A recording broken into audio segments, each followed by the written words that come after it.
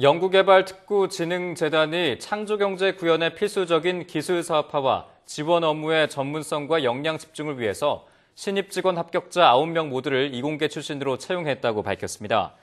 이번 신입 직원 채용에서 특구재단은 1차 서류 심사 단계에서 처음으로 이공계 우대 정책을 도입했고 9명 채용에 모두 1,100여 명이 응시해 125대 1의 경쟁률을 보였습니다.